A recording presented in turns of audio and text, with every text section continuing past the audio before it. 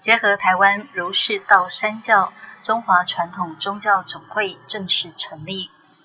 中华传统宗教总会成立大会日前在高雄佛光山举行，现场贵宾云集。当天大会由总会长王金平主持，会中通过章程草案，并选举第一届的理监事。三千人齐聚一堂，共同见证历史性的一刻。宗教总会的成立跨越党派，同时也聘任高雄市长陈菊担任首席顾问。高雄市长陈菊说道：“透过宗教之间的彼此包容和尊重，将为台湾带来祥和。”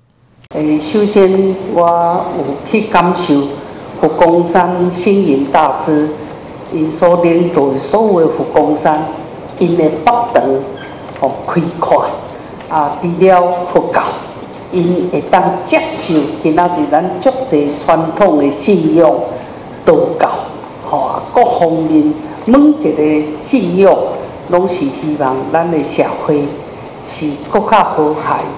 咱的社会会当更较有正义。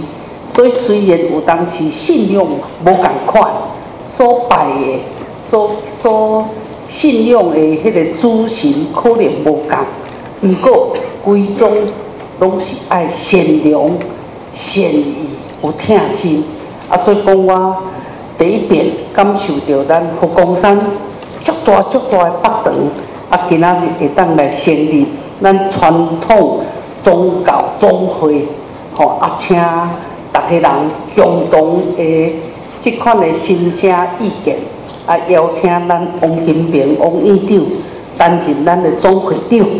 因为佛光山伫咱高雄，啊，咱高雄嘛有足济，不管佛教、宗教，吼，啊，包括一贯道，啊，包括天主教、基督教，各种的宗教拢有。啊，咱高雄会使讲宗教多元，非常丰富。啊，我想做一个今日担任高雄市的市长，啊，会当伫咱中华传统宗教的总会。啊！而且甲咱逐个人共同来成就这个总会成立。